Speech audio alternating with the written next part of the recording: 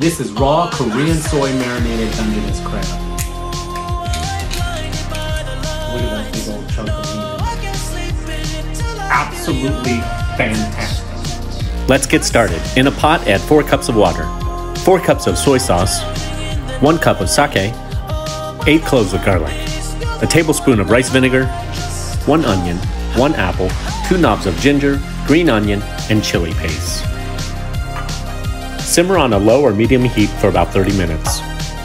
Clean and cut the crabs. After the mix has completely cooled down, marinate for 3 days and enjoy.